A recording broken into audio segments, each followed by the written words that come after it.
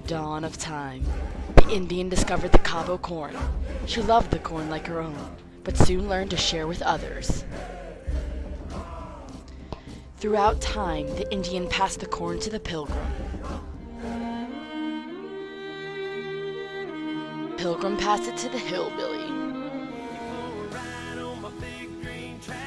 Good afternoon. We're going to show you how to some corn today.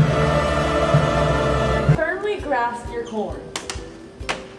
Next, peel away outer corn leaves.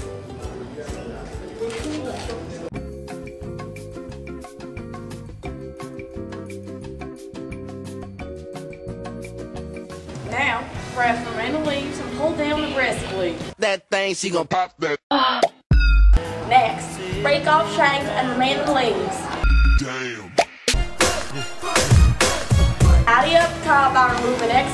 Excess debris. Corn clean. Before. After. Well, now y'all's got some shucked corn.